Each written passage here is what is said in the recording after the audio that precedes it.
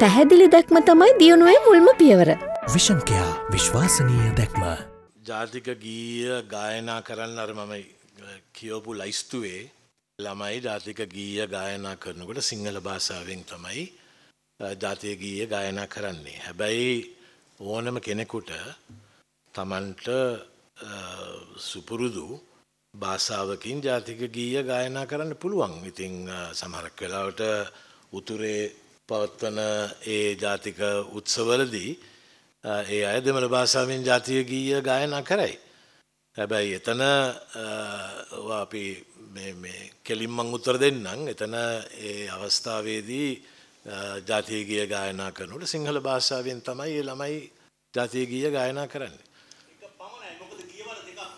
එකයි එකයි එකයි කරන්න මේවර එකයි තියෙන්නේ එක ජාතික ගීය ජාතික දජෝසන අවස්ථාවේ ගායනා කරනවා අවසානයේදී අනුවාදනයක් කරනවා වැඩසටහන අවසන් කිරීම සඳහා.